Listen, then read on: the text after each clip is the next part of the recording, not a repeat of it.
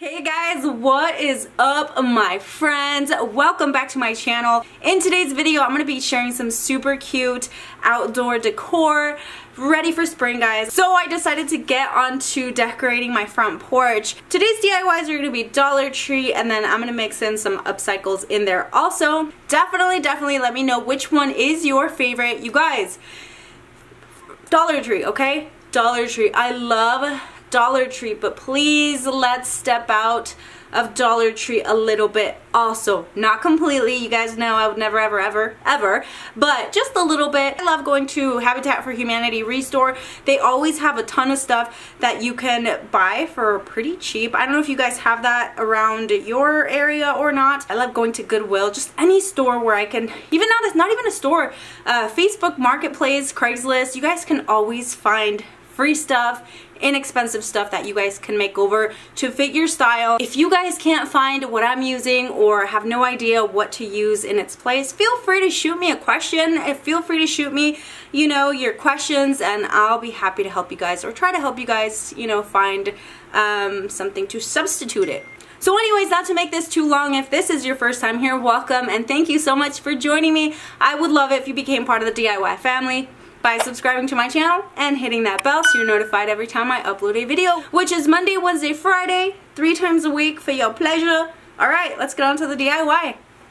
We're going to start this one out with some Jenga blocks from Dollar Tree. And for the next part, you guys can use chicken wire or you guys have seen me use the wire baskets from Dollar Tree but I actually went to Habitat for Humanity and I found these giant rolls of plastic mesh. I don't really know what these are for, what they're used for, honestly. Um, but this was a couple of bucks. They had a bunch of rolls, but I just got this larger one.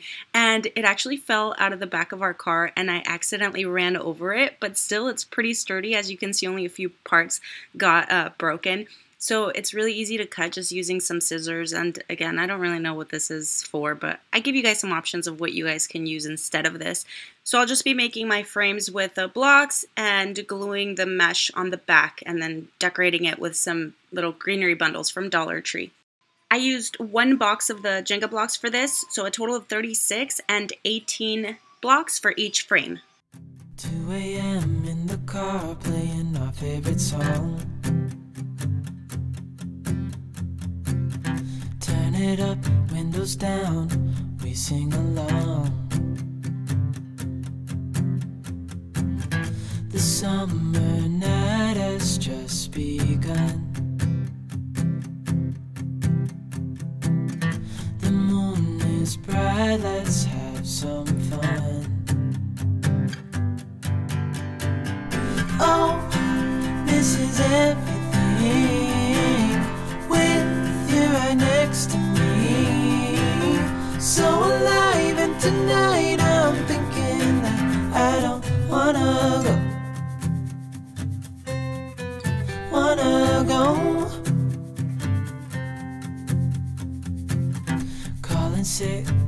Morning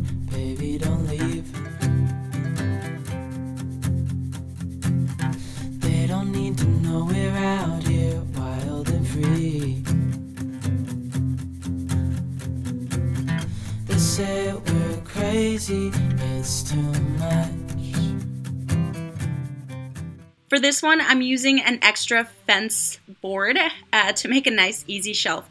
And this is just something that we had laying around. Uh, we had a windstorm that actually blew our fence over and so we had an, an extra piece that I'm just going to use. So I'm just going to see how long I want it and then I'll go out in the back to cut it. So you guys saw my outdoor videos yet the other day and you commented on how nice my patio looks. Well, this is the state of it right now um, because our shed got flattened by that tree. You can't really see it, but it cracked right about there, fell over on our fence. We got our fence replaced and everything. So everything that was in the shed um, had to come out and it's currently all here. I was to use my saw, but all that stuff is there. So we're to go old school. Old school, old school, old school.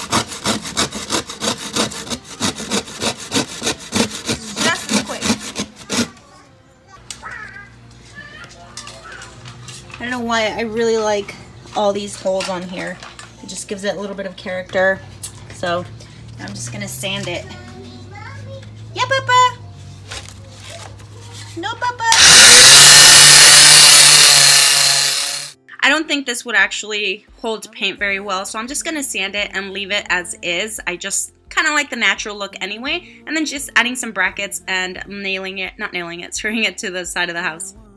On this one, I'm just recycling an old Dollar Tree DIY and I'm using 12 of these square Dollar Tree frames and I already painted them. Obviously, it's a recycled one, so just distressed it a little bit. On the back, I did put some giant craft sticks to kind of hold them together, but I'm going to fill the cracks in with a little extra glue um, just because they are going to be outside I know that when it gets warm I don't want it to unglue or anything like that so I'm gonna make it as sturdy as I can I think I did add E6000 glue to this one, but I honestly don't remember. If you do it from scratch, definitely use E6000 glue with a hot glue just for a really sturdy hold.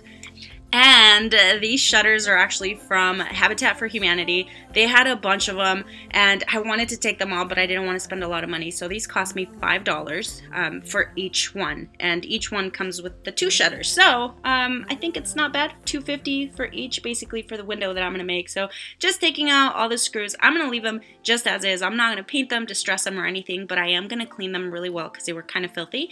And that is it. Just adding some sawtooth hangers to hang them, and you know, feel free to look for options. You guys can make these from scratch with popsicle sticks and frames or Jenga blocks and the giant craft stick. So you use your imagination. I'm just using what I have and what I find. And so I love upcycling also. And I do want to share more of these upcycles with you guys. So I hope you enjoyed this one. And coming to my absolutely favorite one for today, uh, I just love this planter thing with a globe. So I'm using a Dollar Tree hanging planter and I'm just going to take the hooks and the rope off and also using this food container, this plastic food container. I didn't even take the lid with me because I didn't need it. So taking off all the stickers and everything, using E6000 glue and hot glue together just because this is going to be outside with the warm weather. You know, I don't want it to unstick or anything like that. And I do want to actually have this one out there for a while. Uh, again, E6000 glue, hot glue.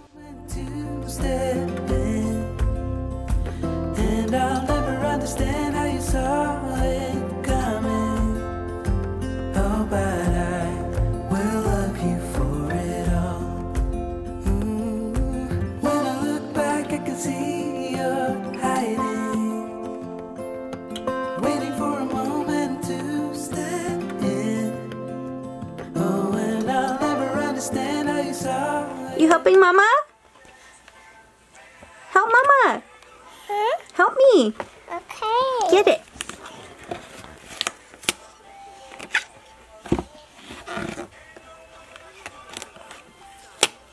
Uh. You got it. Love you. Wow, good job. Okay, Mommy. So for the globe, I'm using one of these punch balloons from Dollar Tree. They come in a pack of three. I'm only going to need one, but if you guys decide to make more than one, you have uh, three different ones for just $1. And I blew it up big enough to fit right into that pot. And before I do anything with the balloon, I'm going to take this outside and spray paint it. So I, originally I was going to just leave it white, but this spray paint sucks. And I'm basically using it as a primer. So priming it and then going back inside to paint it. While that dries out there, I am taking some plaster of Paris. I love plaster of Paris. It's been so fun using it. So this, you make it two parts plaster of Paris, one part water. But using that little cup, I put two portions of the water and only three of the plaster of Paris because I want it to be runny um, so that it doesn't dry too fast. And then once I have that all mixed up, no clumps or anything, I'm going to be using some Dollar Tree yarn in a really light color. Make sure that if you work with plaster of Paris, you use gloves because this can irritate your skin and it is going to get quite messy. So just unrolling the yarn, I'm going to dip it into the plaster of Paris and just get it nice and soaked. And you know, it doesn't take much to soak the yarn.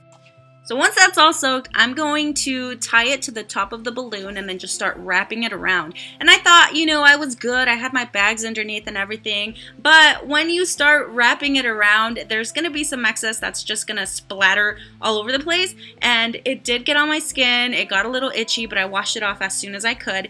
And so just, you know, wrap it around how you like. Uh, I just started by going on the sides, and then after the sides were done, I guess you guys can kind of see what I'm doing here. So, as you know, does it does it even make sense to tell you to wrap the sides and then wrap the sides? Because what other sides would I wrap? Anyways, you guys watch. You guys will get the hang of it. I don't even know what I'm saying. Once I get to the very end of the yarn, I am going to make like a little top knot at the top. And you guys will see when it's all dried up that I made a little like bun looking thing to hold it from.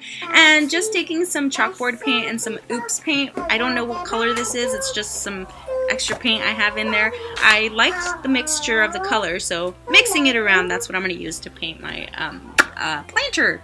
I don't even know what to call it pillar, planter, whatever it is, it looks amazing.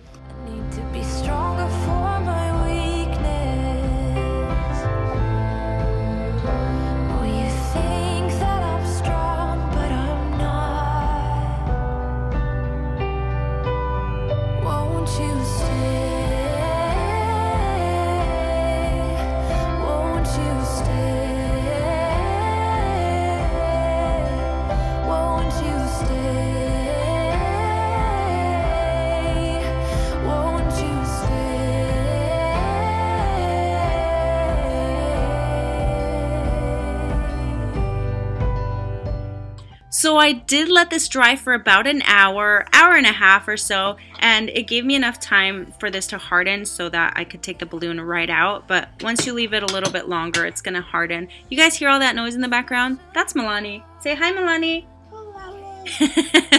all right, so yeah, I'm just gonna take the balloon out and then um, uh, that's it. So for those of you wondering, my front porch flooring is doing amazing. It survived a pretty bad windstorm that took out a tree and a fence, so you guys can see it there. So now I did have this extra Dollar Tree vine thing laying around. I wish I had more, but I only have this one. You guys kind of get the gist of what it would look like. So just adding it on there, and then this is a little top knot that I was talking about. I think I'll show it. Yes, there it is. There's that top knot that you can grab it from and place it right on top of the planter. And for the nighttime, you guys can take one of these Dollar Tree push lights, put it right in there. Also, I did add a bunch of dirt and rocks to make sure that it doesn't blow over. And I think it looks really amazing once it's lit up at night.